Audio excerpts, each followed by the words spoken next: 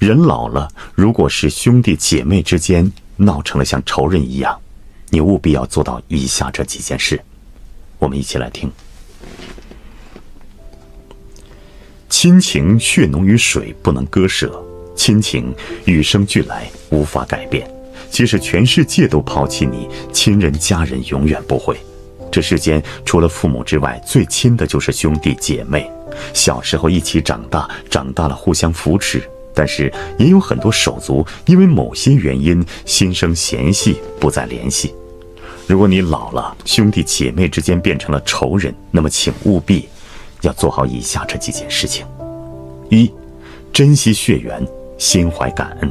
兄弟姐妹是最珍贵的亲情，一起长大，相互照顾。无论是谁遇到了困难，都会站出来尽心的帮助，不求回报，甘愿付出。这种感情谁也替代不了。人老了以后，父母早已不在世上，只有兄弟姐妹还在。当你老了，生命进入倒计时时，你就会明白，曾经的仇恨毫无半点意义。所以，请珍惜血缘亲情，感谢兄弟姐妹，有他们在身边，余生踏实心安。第二，面对冲突，找对办法。家家都有难念的经，再好的家庭也会有矛盾。兄弟姐妹之间若有了分歧，一定要冷静处理，找到办法，和气沟通，及时去解决。若是任由矛盾滋生，问题加剧变严重，关系慢慢就断送。和兄弟姐妹相处，不要斤斤计较，毕竟血浓于水，没有任何东西比亲情还重要。兄弟姐妹是世上除了父母以外最亲最近的人，不要心怀恨意。事事相争，才能化解冲突，友好相处。第三，保持适当的距离。兄弟姐妹小时候在一起朝夕相处，长大了都各自成家，都有了各自的生活，在一起相处时不要干涉太多，保持适当的距离，才能避免冲突的发生。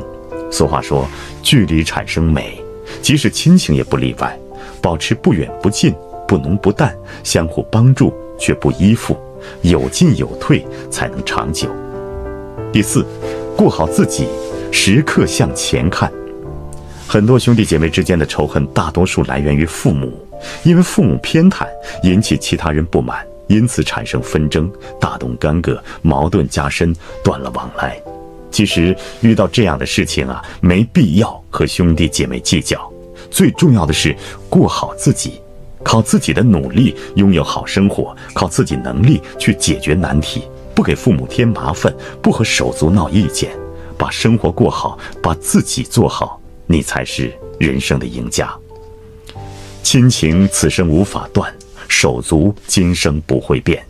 亲不亲，一家人，打断骨头还连着筋呢。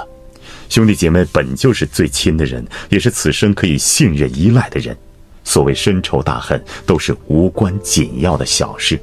当你老了，就会明白，手足情深比钱财重，好好相处，就是财富。